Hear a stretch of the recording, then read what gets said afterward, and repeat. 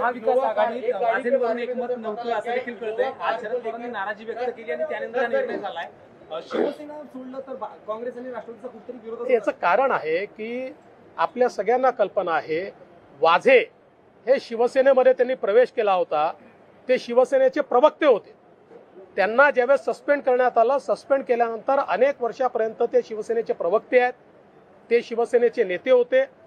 आणि त्यांना हे सरकार आल्यानंतर माननीय उच्च न्यायालयाचा निर्णय डावलून जाणीवपूर्वक घेण्यात आलं की त्यांचा उपयोग हा वेगवेगळ्या कामात करता येईल. आता कुठल्या कुठल्या कामात करता येईल हे आताच्या घटनेवरनं लक्षात आलं